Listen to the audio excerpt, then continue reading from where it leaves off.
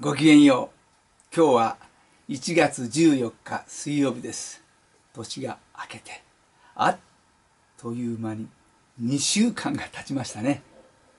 今日はこの本を紹介してみたいと思います。デモシカの伝言、黒田明則さんが書かれた本です。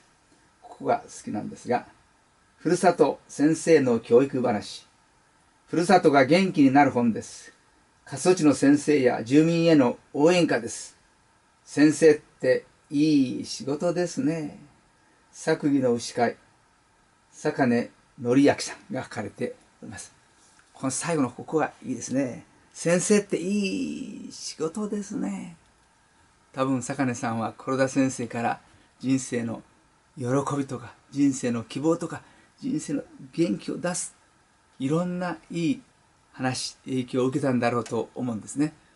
ですから人に喜びを与えるような希望を与えるようなそんな仕事の先生っていう仕事本当に先生っていい仕事ですねと言ってるんでしょうね、まあ、この一言で黒田先生の人柄が忍ばれますね。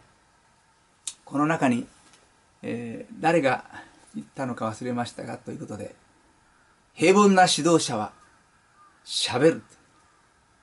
良い指導者は説明する。優秀な指導者はやってみせる。最も優秀な指導者は何か。こういうことなんですね。最後決めの文があるわけですが、えー、これと同じリズムで来るので有名な山本五十六の言葉がありますね。やってみせて、言って聞かせて、やらせてみて、褒めてやらねば人は動かず。と言葉ですよね。有名ですよね。これも平凡な指導者は喋る。良い指導者は説明する。優秀な指導者はやってみせる。最も優秀な指導者は人の心に火をつけるというんですね。本当にそんな人間になりたいですね。